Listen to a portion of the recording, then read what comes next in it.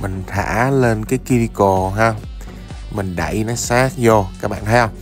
Bắt dốc cái tay xuống rồi bắt đầu chúng ta dậm cái khóe rồi chúng ta vuốt bên phải bên trái ha. À, chúng ta qua bên phải rồi vô giữa chúng ta vuốt.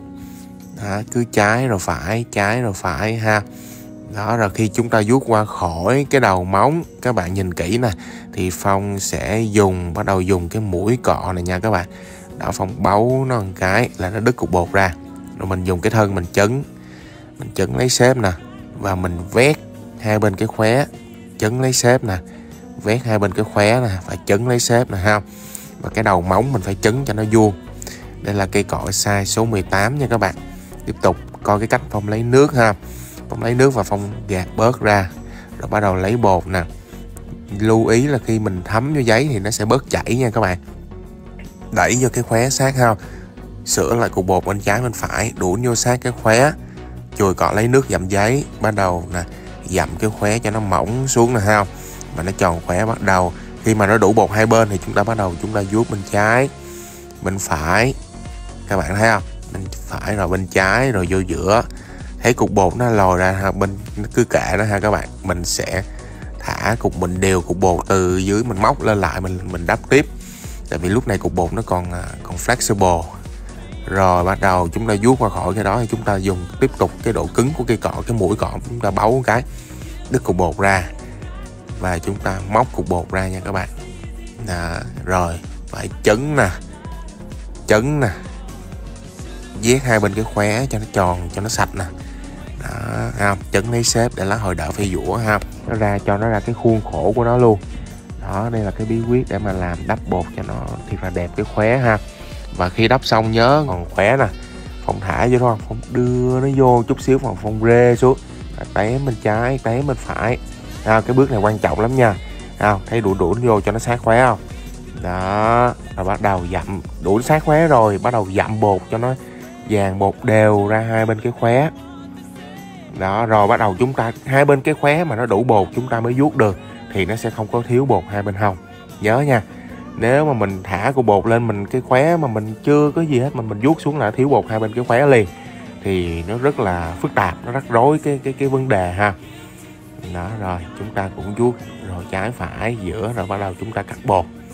Ok các bạn, thì cái cây cọ phong đang đắp là cây cọ size số 18 thì trong cái quá trình phong vuốt bột đó các bạn các bạn thấy không? Phong không có chấm nước một lần nào nữa nha, vì cái cây cọ này nó rất là giữ nước, ha vuốt bột các bạn thấy nó không có có, có, có dính bột.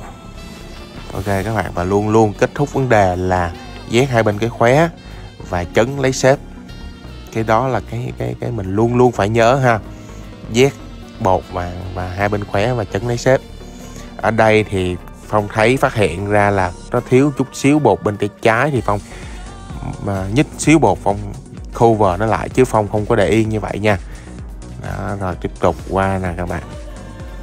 Rồi cũng coi cái cách phong thả cục bột và phong đưa cục bột vô cái khóe như thế nào nha.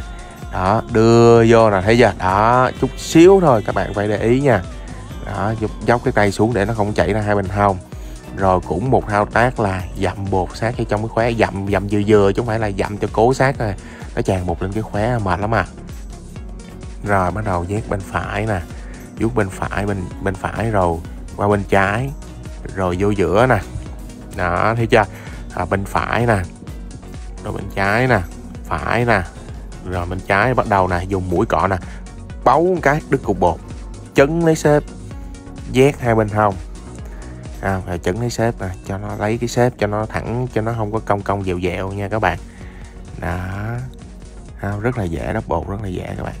À, rồi xong rồi đó. À, coi cái cách phong thả cục bột cái ngón cái nha phong thả cục bột ra một cái là phong đuổi hai bên cái góc vô liền nè. Coi này nha. Thả cục bột này ha đó. Đuổi góc bên trái đuổi góc bên phải ha trái. Ha bắt đầu dốc cái tay xuống liền là là mình đã thành công rồi đó các bạn. Mình đều được bột vô được hai bên cái khóe sâu với hai bên hai bên cái cái cái, cái góc á là mình thành công rồi. Mình chỉ cần dậm là nó vô thôi. Đó rồi bên trái bên phải.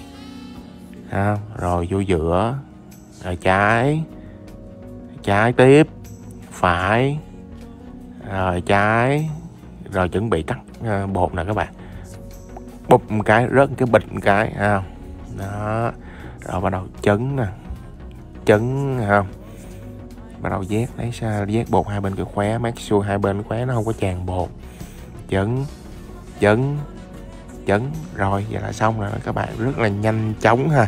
Lúc này thì mình sẽ dặm cho nó cho nó nó sát khỏe cho nó. Thiệt là sát, thiệt là mỏng rồi đó đâu vuốt cái cho nó.